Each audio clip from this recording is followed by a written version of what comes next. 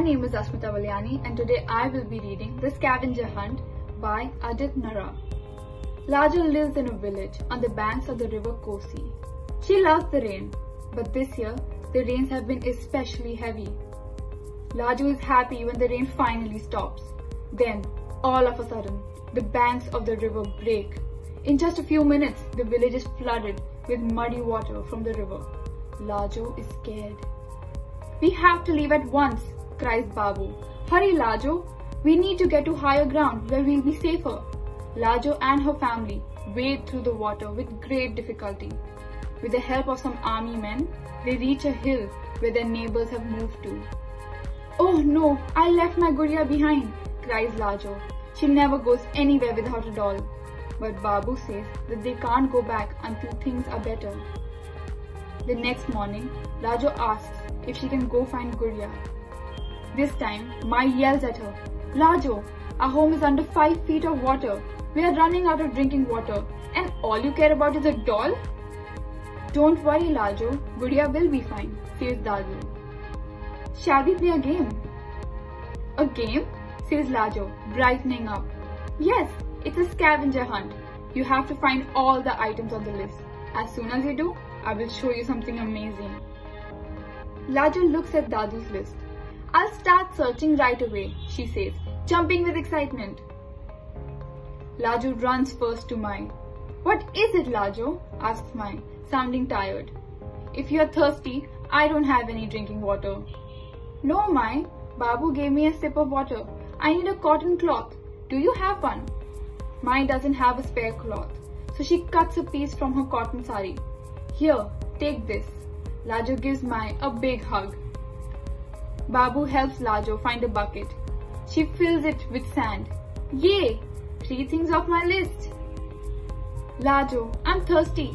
Do you have some water? asks her friend, Pratik. Sorry, Pratik. We finished all our water. That's okay, he says. Are you looking for something? I'm looking for gravel, says Lajo. Here, you can use that. Only two more things for Lajo to find. Then Lajo goes to find the village carpenter. Fixer Baba, fix a baba. May I borrow your hammer and hole punch? What is it for, Lajo? It's for a game I'm playing with Dadu, she says. A game? Who has time for games when the whole village is thirsty?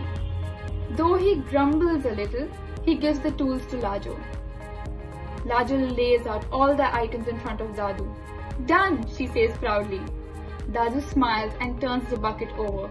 He makes a hole in it with the hammer and punch. Lajo watches eagerly as he places the cotton cloth at the bottom of the bucket. Then he pours fine sand over the cloth into the bucket. Lajo, will you help me fill the bucket with gravel? asks Dadu. Lajo helps Dadu pick out all the tiny stones and put them in a bucket. They then fill the bucket with larger stones. Dadu takes a bottle filled with muddy river water and pours it into the bucket. Why did you do that? Lajo asks, puzzled. Dadu just smiles. Not long after, clear water starts dripping down from the hole in the bucket. Dadu collects it in a glass. Lajo, we made a filter that changes muddy water into clean water, says Dadu. Go, give this glass of water to your Mai and Babu. Mai and Babu are overjoyed. They boil the water and drink it. Soon, Pratik, Fixer Baba, Mai and Babu surround the bucket. Great work, Lajo, they cheer. The next day, the army comes in boats laden with supplies for the flood survivors. Lajo's family is relieved.